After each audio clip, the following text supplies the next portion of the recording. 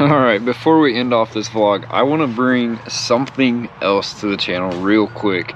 And it happens to be three things. These are all books, all written by Nancy Bell Kimsey. And I got a story for you guys, which I'm going to share with you on the Arctic Vette family channel. So head over to the family channel to find that vlog and find out more about these three books.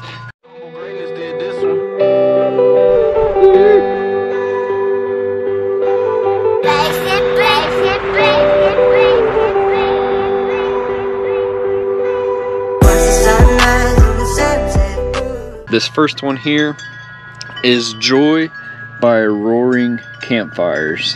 Devotions for Campers by Nancy Bell Kimsey. It's so awesome. It's so awesome how God works. Another one that she has. We actually have them all. Grace on a Rambling Road. Devotions for RV travelers. That could be perfect for you. You guys an RV, are RV travelers living in the RV life, check this one out too. Now, don't worry, some of you might just be like, man, I'm just not an RV person. I'm not into camping. I'm not outdoorsy. Well, guess what? We got one for musicians called by the composer Devotions for Musicians. Devotions for Musicians also by Nancy Bell Kimsey. This is so cool, guys. They're so cool. Now, specifically this one, I accidentally got this one, but it worked out great because I have somebody very special in my life that I'm gonna give this one to. And that happens to be my, be my brother Dylan.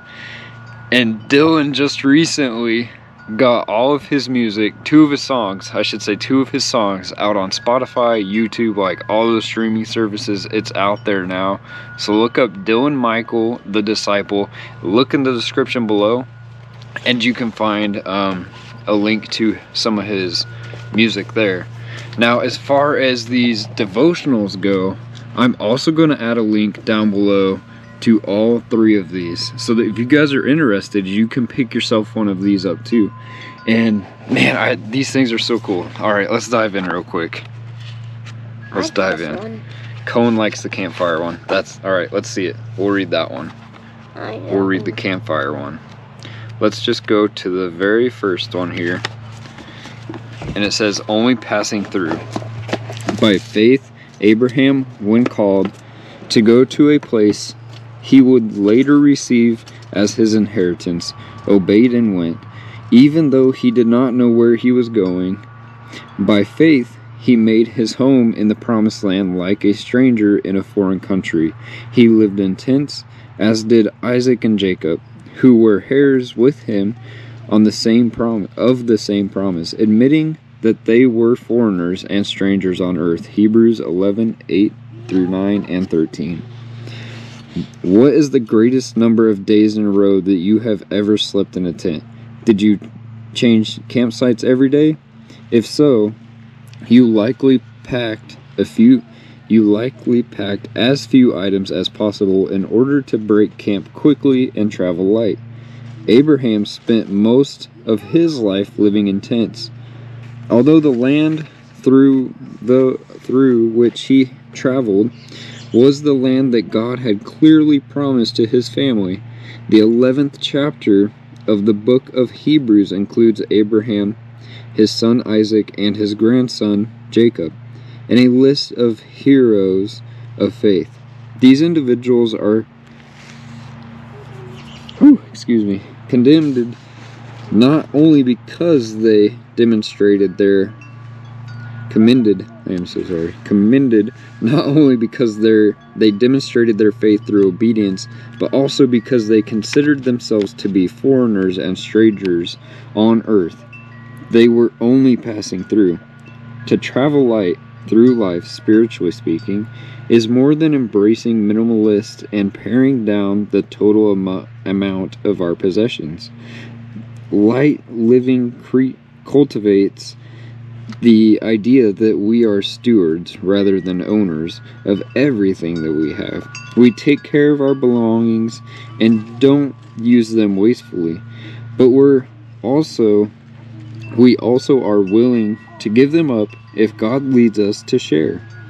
If anyone has material possessions and sees a brother or, a, or sister in need but has no pity on them, how can the love of God be in that person? 1 John 3:17.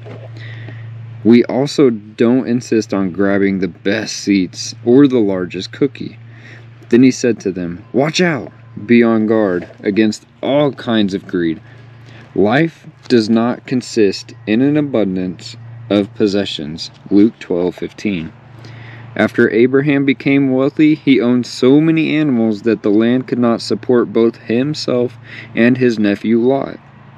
When they decided to go their separate ways, Abraham allowed Lot to choose his portion of the land first. Lot chose the fertile plain of Jordan, seemingly a better choice. But Lot had deliberately chosen to pitch his tent near the evil and corrupt city of Sodom. God reminded Abraham that he would continue to bless him. All the land that you see I will give to you and your offspring forever. I will make your offspring like the dust of the earth, so that if anyone could count the dust, then your offspring could be counted. Genesis 13 15 through 16. In the very next chapter of Genesis, we learn that Lot and his family and goods were seized and carried off during a battle, and eventually Sodom was utterly destroyed. Meditating upon the brevity of life, the joys of eternity with Christ, and the unending faithfulness of God will enable us to view this world as our temporarily temporary dwelling and our possessions as a gift on loan from the Lord. A prayer for today. I see this is why I really enjoy this. She put in a prayer for each day. Like that's so cool. Dear God, help me to travel light as I walk through this world. Thank you that you promise to provide for all my needs. May I never try to hold on selfishly to that which will not last forever. Amen. That is so cool.